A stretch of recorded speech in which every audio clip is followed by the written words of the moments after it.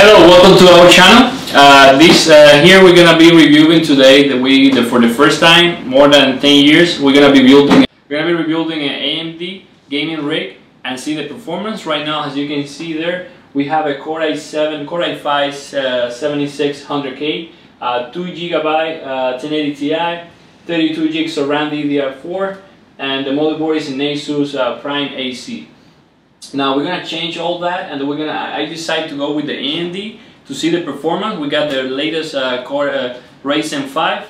Uh, here we got the MSI B350 which is more than enough for this computer. We're gonna put uh, all the 32 gigs of RAM here. We're gonna use this uh, CPU and we're gonna use the same video card.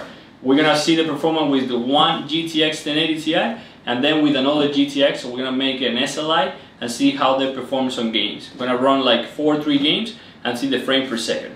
Why I'm choosing AMD this time here is because, uh, okay, first, uh, we bought the CPU for 189 uh, price is really good, they come with the fan already, we don't need to buy the fan, and also they have a lot of cores. Uh, for some people, cores is not so important because they just game, but for me personally, I like to run uh, VMware and like to run different um, machines in my system. So for example, Linux, I run the like uh, Kali Linux, Linux, Ubuntu, and Windows 10.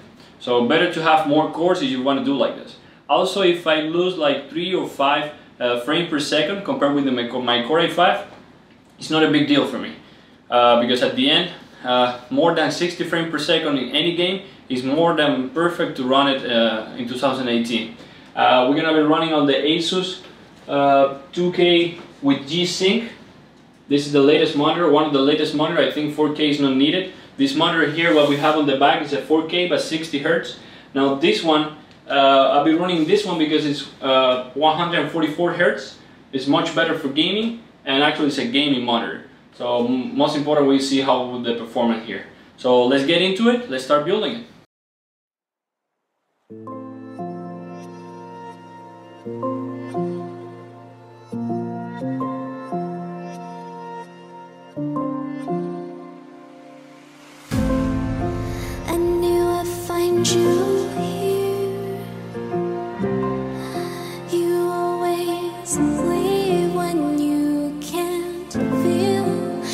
tell me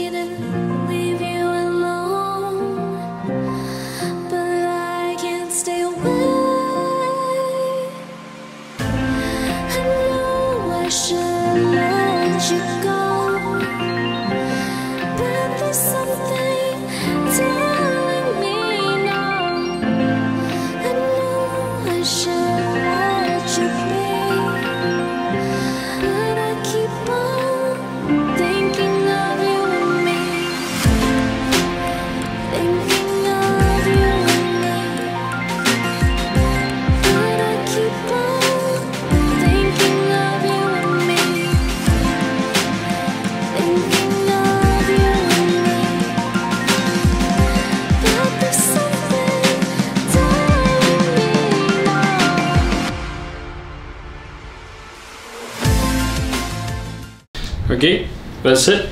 We got uh, the CPU installed. We got the SSD 500 uh, giga. Okay, 500 gigabyte. Uh, Samsung Evo, one of the best one, M2, and 32 gigs around DDR4 to uh, 2400. Let's install on the on the case.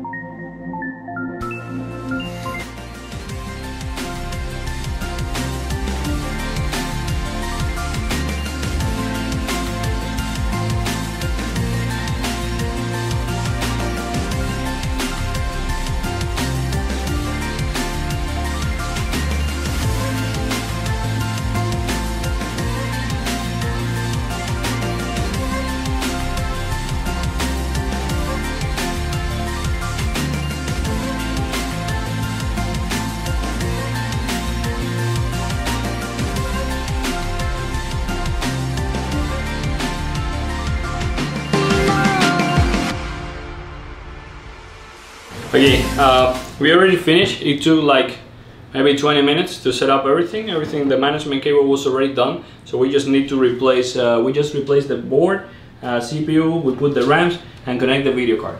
We're gonna make a test with one video card and then we're gonna connect the other one, GTX 1080 Ti. We're gonna see the performance in SLI and with just one video card. Let's see how it performs the Ryzen. I really enjoyed to build it. I have to say that it feels more like uh, uh, building a gaming computer for me because the Ryzen I love it. Uh, the way that the video card that the it comes on the box with the fans and everything, also the board. I really enjoy uh, building this computer. Let's see how it performs.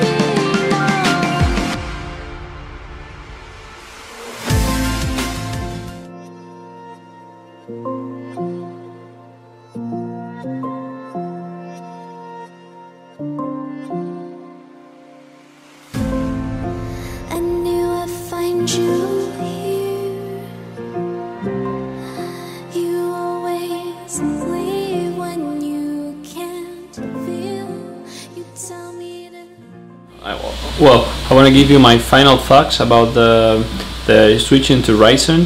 Uh, right now I tested a lot of video games, a uh, few video games like PUBG and Crysis 3 um, on Heaven as a benchmark, CPU Cinebench ben benchmark. And as you can see the performance is good for some tasks, for gaming is not so good, we're always gonna lose like uh, 15 or 10 uh, frame per second comparing with the uh, Core i5 7600K uh, and 87 8600K will be even worth.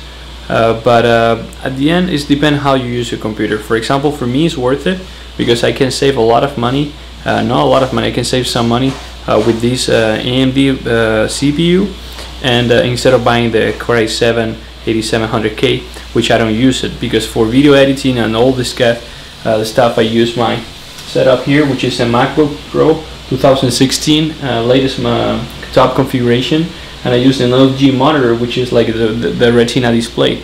Uh, right now this setup for me works perfect. If I need more power I use a external GPU for my Macintosh and that's my workflow. I do uh, video editing for my work and uh, maybe play some games um, programming which I don't need a powerful computer at the moment. But if you are more like uh, Adobe Premiere this kind of software that you use on PC, um, maybe it will be better to go with the CPU Intel. Also keep in mind if you're using Adobe Premiere DaVinci, it will be better to have a very powerful GPU like a GTX 1080 Ti uh, because at the end that's what this software used for. They use the, the GPU instead of the CPU right now. Uh, for me it was fun to have the Ryzen and uh, Ryzen 5 I don't want to spend that much um, on the Ryzen 7 uh, because if I want to spend that money I will go with the Intel Core i7 um, but for the moment yeah. Uh, this machine is working for me. I think it's a good budget for people that want to build a computer. I will put all the links on the on the description where you can buy the, the parts. Okay leave a comment below if you think what you think about the M uh, the Ryzen 5 uh, and this configuration what you think if you have an Intel or you prefer an AMD and if you want any other test like uh, setup with the SLI two video cards or try a different card we have 1070, 1060, all the other cards to see the performance and how much you can save on this setup. Thank you and I see you on the next one.